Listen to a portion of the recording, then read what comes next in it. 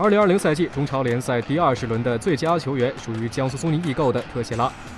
在争冠的关键一战当中，苏宁易购十号一扫之前两场比赛的低迷。本场比赛，特谢拉尽管只有两次射门，但唯一的一次射正就攻破了广州恒大淘宝的城池。与射门一样，特谢拉本场比赛被侵犯次数也不多，只有三次。但在半场结束之前，特谢拉的长途奔袭却造成了恒大的红牌。本轮比赛的最佳球员特谢拉当之无愧。